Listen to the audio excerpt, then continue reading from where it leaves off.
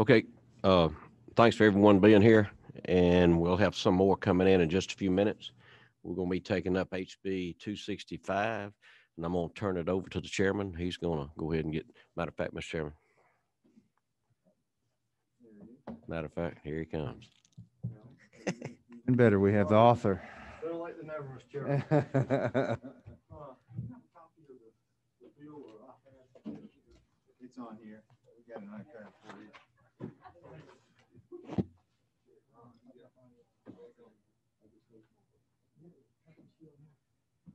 John who's gonna go through it. So I was just fixing to open it up. It's House Bill two sixty-five. It's It's our annual IRC update and um, we're, we're getting a lot of questions regarding uh, configuring, you know, people's taxes. And that's why the CPA here, Chairman Knight was, was sponsoring the bill and was going to talk about it briefly, but we do have John with the uh, Department of Revenue. This is their bill and we, it is a clean bill. um, Entirely, you know, couples with the, the IRS position. So um, with that, I'm going to turn it over to Chairman Knight. Thank you, Chairman Smith. And uh, we'll hear from John here in a second. If you're ready for that. Yeah, Mr. Chairman, this is the uh, annual IRC update bill. As everyone knows, um, the state of Georgia basically starts off with uh, and, and looks at federal code.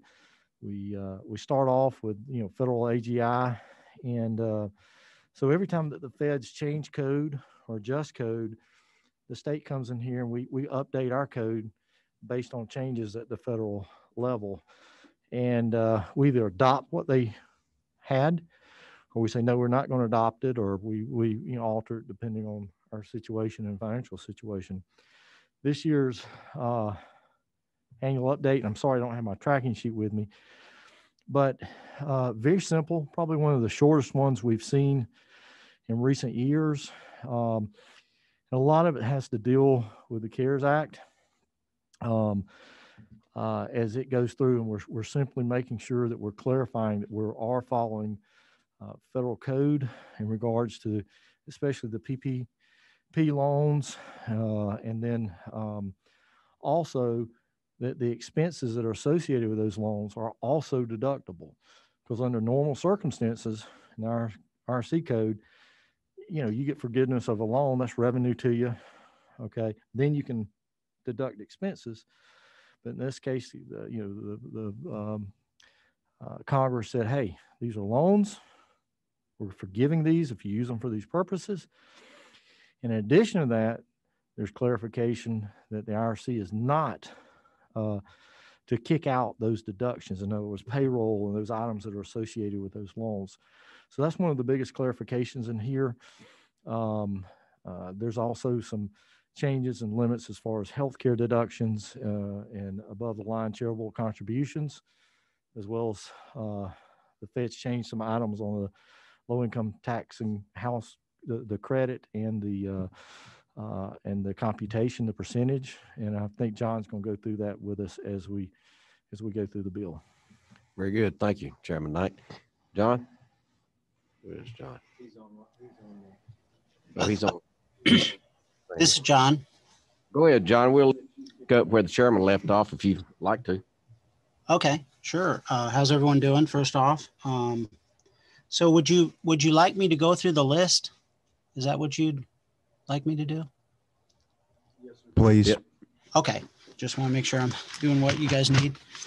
Um, so I, I, I think everyone has the spreadsheet. Is that right? No, sir, we don't actually have, we just, we've got a copy of the bill. Okay, so so I'll just speak from the spreadsheet then. And Chairman, maybe I'll. Uh, do you want me to uh, list the item, the significant items, and just just list the cost for the five-year period? That'd be good. Okay. So uh, I thought uh, uh, Chairman Knight did a, a pretty good job of uh, giving an, an, an, an introduction. Um, um, just as a kind of a, to, to set the stage. Um, the CARES Act was passed uh, in March of 2020. I'm sure everyone remembers uh, that time.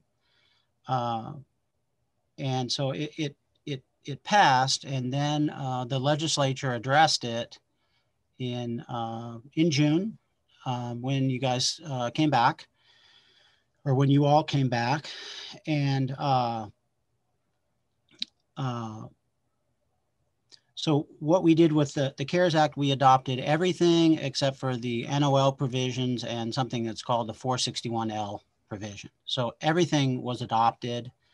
Um, so then, then what happened? The the the general, excuse me, the the Congress and the president, a new bill was signed right at the end of December, and so that's what we are uh, going to talk about today, and that was uh, the con the Consolidated Appropriations Act of uh, 2021. And so I will just go through uh, the the items, and these are the items that are uh, over a five-year period or more than $5 million. Um, there's a number of items that are smaller, uh, but which we won't uh, won't really talk about, but they only total uh, 8 million over the five year. So those are all uh, pretty small. Uh, so the first item uh, is part of the CARES Act. They um, created kind of a new deduction. It was a $300 charitable uh, contribution deduction for those that don't itemize their deductions. So if you take the standard deduction, it allows that. And Georgia did adopt that uh, back in, in June. And so what that what this uh, the first provision here uh, for the act that passed in December does is um, extend it uh, through 2021. And that cost is about $25 million over the five-year period. Um, and I guess, uh, Chairman, just stop me if there's questions. Uh, I'm happy to, to back up or do my best to explain further uh, as much as I can. Um, the second item, normally when you uh, itemize your uh, when you itemize your deductions and you claim uh, your charity deductions, they're limited to a certain amount of your income.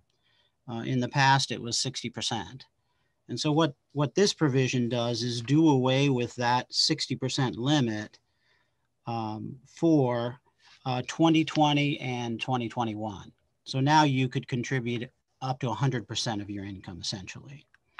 And I, I think that I'm assuming the purpose is uh, because a lot of people uh, uh, you know, are having a tough time now. So just to encourage charitable giving, I think is the purpose. But the total cost of that is not quite as high over the five-year period is just over $7 million. There are uh, a number of, uh, there are the next two items, uh, there are uh, two provisions that relate to uh, the low-income housing tax credit. now, normally, the federal credits don't affect Georgia. We have our own credits but but our low income housing credit is equal to the federal credit. So when it changes, it then affects our credit. Um, and uh, I, will be uh, frank, the low income housing tax credit is, is pretty complicated and I, and I don't consider myself to be an expert in any way. But what this bill did was um, uh, increase the ceiling um, for uh, 2021 and going forward, and then also uh, it changed the rate, um, the way the, the rates are uh, computed. Um, and the total cost of those two provisions over the five-year period is about $45 million. The next item, um, I think, uh, you know, everyone knows the, the, the restaurant industry is having a tough time. Um, and so the next provision relates to the deductibility of business meals. Um, years ago, uh, the federal government, which Georgia adopted, put in place a 50% limit on business meals. Uh, and what this does is do away with that 50% limit. So it allows a 100% deduction for business meals, and that's through uh, 2022. And the cost of that is about $51 million. The next item, uh, the medical expense deduction floor. I think uh, most people know, but I'll, I'll give a very brief uh, summary. Um, uh, medical deductions are a little bit different than other itemized deductions, and you can only deduct them to the extent they, they exceed a certain percentage. So the percentage for years was seven and a half percent. The Tax Reform Act in 2017 raised that to 12 and then the CARES Act reduced that uh, to seven and a half percent, but but just for a couple of years. So what this bill does is uh, for um, and let me get the years right. Uh, for um, oh, okay. Yeah, no wonder there's no years. What this does is make it again permanent at seven and a half percent. So going forward, it will be seven and a half percent instead of going uh, up and down and up. Um, so they've decided just to make that permanent. And the cost of that is $62 million.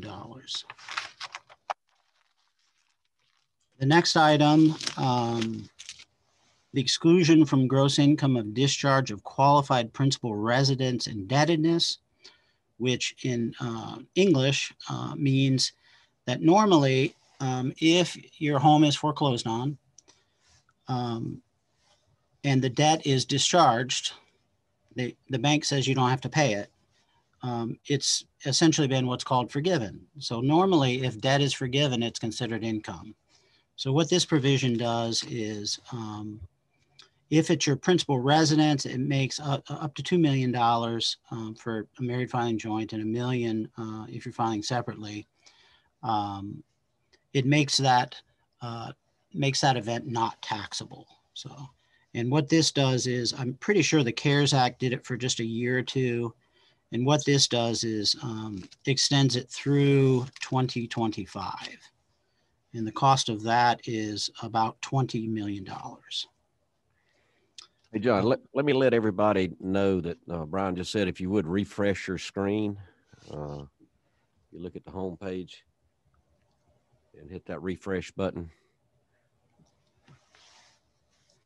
Representative, am I supposed to do something? No, no, no, I'm just telling the members that are here in the room. Oh, okay, good. Okay, good. Got Ways and Means Interactive Meeting Agenda on the. Refresh that whole page. Well, I, I'm glad you're talking to them because I don't know how to refresh my page. So, um, Brian knows all this. He- Okay, all right. If any, now remember, members, if y'all have questions, don't hesitate. We'll stop John and, and go to your question. But John, so far, you're going good. Continue. Okay. Okay, great. Yeah, I'm happy to explain as best I can. Um, the next uh, provision um, relates to uh, film productions, TV productions, that kind of stuff. Um, normally, um, the way it works um, when you're producing a film is you put all your costs together and then you write them off over the life over the life of the the film. Um, so they don't allow you to deduct the entire amount up front. And this provision has been around for a long time and it gets extended uh, every couple years. But what this does is allow uh, a straight up deduction for the first uh, 15 million of costs. And what this this extends it through uh, through 2025. Um, and the cost of that is $23 million. The next item, the exclusion for certain employer payments of student loans. Um, what, what this does is it, allows an employer to pay off some of your student loans up to $5,250. And normally, when your employer does something for you, it's taxable, right? It ends up in your W 2. And so, what this does is allow up to $5,250 to be excluded from your W 2. So, it's, I think, um, I think, I think everyone knows there's a, problem with uh, ballooning student loans. And so, I think this is uh, Congress's attempt to, to try to help some.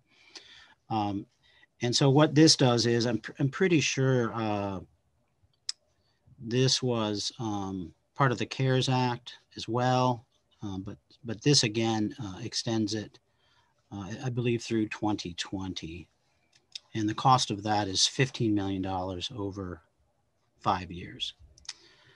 Um, so uh, the only items that are left um, relate to uh, the comments that uh, Chairman Knight made about the PPP loan forgiveness. Um, uh, I think, you know, everyone knows what a PPP loan is. Um, what, what these provisions talk about is whether, uh, well, the way a PPP loan works is if you use it for the, uh, the, el- the uh, eligible expenses, uh, like for uh, rent, salaries, then uh, the loan is forgiven. And um, as I just mentioned, uh, for the discharge of qualified principal residence, normally when a loan is forgiven, it's taxable. It's a taxable event because you uh, rec- receive something essentially. Um, but what this does is says that it is not um, it is not taxable, and then it also says that in addition to not being taxable, um, the deductions uh, are also allowed, and um, there I, I I won't go into it uh, real in depth, but um, there is an argument that the, the, the deduction piece was actually part of the CARES Act, which was adopted, and, and we're looking into that um, with the law department. So, so that provision may sort of be already have been adopted, um, but uh, you know, of course, the legislature, if they wanted to to do something, they could, but uh, it would just be done separately. So, so that's that. So. Um, if you total all of those items uh, that I talked about, it's about 255 million over five years. And I think it might be helpful to go ahead and uh, give uh, kind of the yearly totals now. Um, does that sound okay? That's great. Mhm. Yeah, okay. Just to have a little more detail. I didn't do it on each individual item just uh, for time time saving, but um, for 2021, the cost is about 49 million. And these are uh, state fiscal years. So the fiscal year ending uh, June of 2021. Um, the year ending in June of 2022 is about 82 million. The year ending in 2023 is 49 million. The year ending in 2024 is 36 million. And the year ending in 2025 is about 40 million. And I have rounded, but the, the total cost is 254.4 million. And, and, and I, I think everyone knows, but just, just so you sort of understand the, everyone understands the process. We, we, the department prepares uh, a spreadsheet that lists each item. And then uh, the same folks that do the fiscal notes, they put the costs in. Um, and, uh, you know, we help them, you know, to make sure they understand things, that kind of stuff. But uh, that is all I have as far as the, I think what I'm supposed to say, but I can talk about whatever else. Yep. Okay, thank you, John. Um, members, anybody have any question, any comment about that? Mr. Chairman, you, yeah, in, in, in the back, Representative Hogan. What, what mic number are you?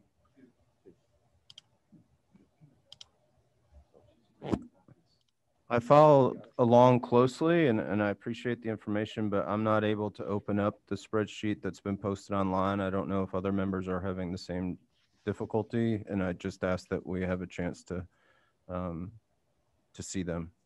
Is that what she's bringing? Yeah, uh, we, we, Bring in some hard copies in momentarily, uh, so everybody can take a look at the spreadsheet. Yeah, we've had some technical difficulties on all the machines getting it uploaded. Okay, anybody else? You got any comments that you'd like to make, Mr. Chairman?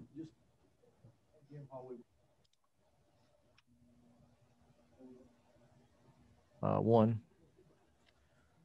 While we wait on the spreadsheets, and again, I, I think I, nobody could bring that up. I was looking for it too, because I'd left a paper copy I had, but, um, just to remind everyone how important, uh, it is to uh, address the IRC update bill. We've always kept it clean. It's always been a, a bill that needs to go through. Our Georgia taxpayers are already starting to file their tax returns and uh, you know uh, part of that is the state uh, the state return so you know, as they file these rules uh, or, or laws and rules that go through all the way into the software, the tax software, the, you know, that most CPAs and tax preparers use, are waiting on these updates. Uh, so it's, it's pretty imperative that, uh, you know, we, we continue to move this bill through as we've done in prior years with, with haste, uh, post haste and get across the Senate so we can hopefully get it signed and the CPAs and tax preparers can get the software updates and, and our citizens can file correct tax returns.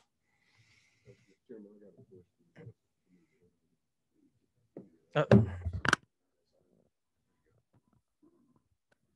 Uh, thank you, Mr. Chairman. I just want to make a comment if I may. I just want to applaud the author of the bill and the department for codifying that the PPP loans will be uh, uh, not taxed at a state level as the federal government has, has decided.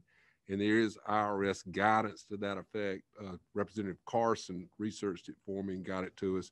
And I believe the department has as well. But I would, um, I get this question a lot uh, about from my constituents, businesses and whatnot. uh, And they're asking consistently, are the PPP loans going to be forgiven at the state level as well? I don't have a strong accounting background, but I can understand how it would be a, a, for, for businesses bothersome, troublesome to identify forgiven loans and unforgiven loans on their on their both the income statement and the balance sheet for that matter. Um, and um, our, our CPA representative here can attest to that. So I just want to urge all the members of the community that we need to move forward. I think it's good for Georgia. It's consistent with the federal policy. And um, I, I definitely would like to see it, irrespective of what the CARES Act uh, formally, uh, th- th- th- there's a discussion whether it may or may not, this piece of the puzzle is already in place. I just want to make it very clear for our business community. Thank you for the opportunity to comment. Chairman, um, I was just going to ask if, uh, Mr. Foster could speak. I, I believe this has already been contemplated, you know, given the budget that, that we have, you know, and- and currently working on and just to see if he would speak to that or, or the author of the bill one, I think. Uh, Chairman, uh, would you like me to make a comment or? Yes, I think you would, a- John. Uh, both the, give me just a second. I was going to grab the spreadsheet again. Uh, so if you, uh, if and when you can look at the spreadsheet, um, what you'll see for the revenue effect, uh, and I'm going to read it and then I'll uh, explain uh, in, in English a little bit better what that means. But uh, for all three of these PPP items, um, and also, uh, there's not only the PPP item, but the, you'll also hear about the economic injury, injury disaster loans. I think I heard it last night referred to as EDL, um, which I don't know if that's right, but at any rate, same concept. Um, it, what, what, what the analysis essentially says is there's no revenue effect and um, policy assumed that it was in the current revenue baseline. So so what that means is a state economist who, who has also uh, looked at this assumed that this was going to happen. So um, everyone was expecting to happen, and it's no surprise. Um, so that that's why it th- there's no cost listed. Um, it's sort of al- already been factored into the uh, budget numbers, so to speak. Does that make sense? It does. We're, we're just now passing out the, uh, information, the sheets.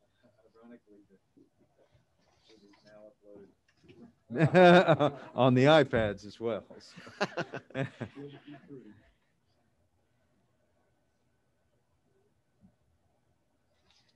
You might. Okay, any, anybody questions? Mr. Chairman, if I may make a suggestion, Yeah. um, everybody wants to take a minute or two to, to review what has been presented, uh, based on the, the sheets in front of you. Um, And I'd like to add too, as important as this is, and we've heard that from all the chairmen here. Uh, we're, we'd like to see this bill, if, if there are no objections from the committee members, we'd like to move this bill out and move it to a full committee tomorrow so we can keep this rolling because tax season is upon us. This is February. And, uh, as we go along, if you have a question, see, see the author. And, uh, we'll try to answer any of those questions that you have. That's kind of the mode that we're in.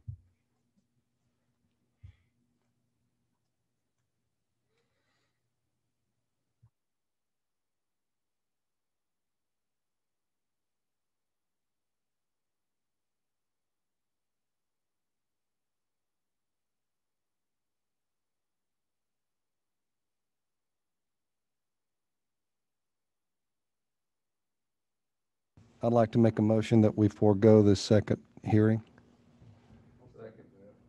All right, there's a motion and a second to forego the second hearing. You know, most of the time we do have that second hearing. Motion and second, any discussion on that? All in favor of that, say aye. Aye. All opposed? Okay, thank you, Mr. Chairman. And at proper time, I'm not trying to rush you, but proper time, we'll entertain a motion on the bill itself. Second. All right, we got a motion second. Any discussion on that? Any discussion? All in favor, say aye.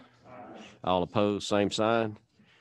Thank you very much. We're going to take this up tomorrow morning, eight AM. Yes, sir. We, we'll have full committee tomorrow morning at eight AM and, uh, review this same, uh, piece of legislation. And, um, you know, if it's the will of the committee, we'll pass it on out and get this moving so that, uh, you know, we can give some certainty out there as to how, you know, our returns are going to be handled. Thank you, Mr. Chairman. I believe we're in six oh six, Brian. Is that four oh six tomorrow? Okay. Is John going to be with us tomorrow? Uh, he, he'd be available for us. John, thank you for your presentation and, and all the numbers and explanations. We really appreciate that. And, uh, if anybody has questions, they may reach out to you. Yeah, sure. Thank you. All right, no other question, meeting adjourned.